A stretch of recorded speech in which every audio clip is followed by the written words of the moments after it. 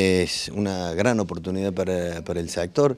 eh, ya que la universidad, por el prestigio que tiene y la influencia que tiene en la comunidad de Río Cuarto, para nosotros es, desde la idea que surge de la Universidad de Barrial, que nos parece fantástico, es una gran oportunidad como institución.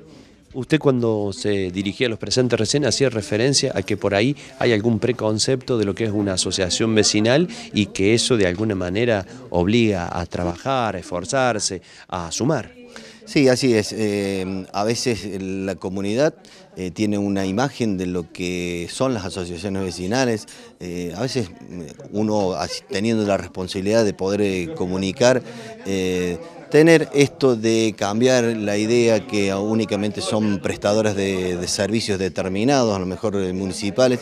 y viendo que a lo mejor podemos tener otro perfil que tiene que ver con lo cultural, con lo educativo, y esto es una muestra más que se puede trabajar desde otro perfil y comunicarle a la, comunidad que de pronto eh, son espacios donde uno puede integrar, donde se puede capacitar y brindarle otras cosas a la comunidad.